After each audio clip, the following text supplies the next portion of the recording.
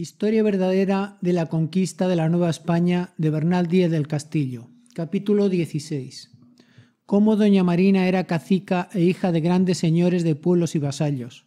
y de la manera que la dicha doña Marina fue traída a Tabasco. Antes que más meta la mano en lo del Gran Montezuma y su Gran México, quiero decir lo de, lo de doña Marina, cómo desde su niñez fue gran señora y cacica de pueblos y vasallos, y es de esta manera, que su padre y madre eran señores y caciques de un pueblo que se dice Painala, y tenía otros pueblos sujetos a él, obra de ocho leguas de la villa de Guazucucualco, y murió el padre quedando muy niña, y la madre se casó con otro cacique mancebo, y hubieron un hijo, y según pareció, querían bien al hijo que habían habido.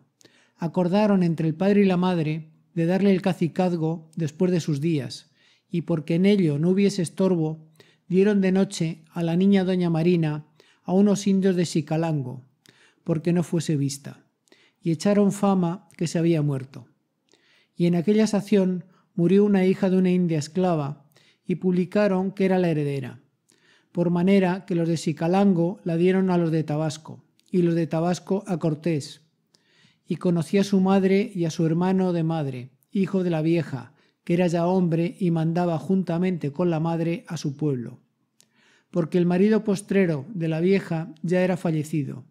y después de vueltos cristianos se llamó la vieja Marta y el hijo Lázaro.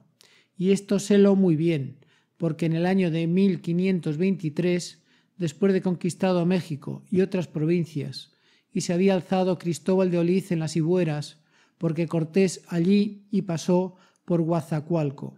y fuimos con él aquel viaje toda la mayor parte de los vecinos de aquella villa, como diré en su tiempo y lugar. Y como doña Marina en todas las guerras de la Nueva España y Tlaxcala y México fue tan excelente mujer y buena lengua, como adelante diré, a esta causa la traía siempre Cortés consigo, y en aquella sazón y viaje se casó con ella un hidalgo que se decía Juan Jaramillo en un pueblo que se decía Orizaba, delante ciertos testigos, y uno de ellos se decía Aranda, vecino que fue de Tabasco. Y aquel contaba el casamiento, y no como lo dice el coronista Gómara. Y la doña Marina tenía mucho ser y mandaba absolutamente entre los indios en toda la Nueva España. Y estando Cortés en la villa de Guazacualco, envió a llamar a todos los caciques de aquella provincia, para hacerles un parlamento acerca de la santa doctrina y sobre su buen tratamiento. Y entonces vino la madre de doña Marina y su hermano de madre, Lázaro, con otros caciques. Díaz sabía que me había dicho la doña Marina que era de aquella provincia y señora de vasallos, y bien lo sabía el capitán Cortés y Aguilar la lengua. Por manera que vino la madre y su hijo, el hermano, y se conocieron, que claramente era su hija, porque se le parecía mucho.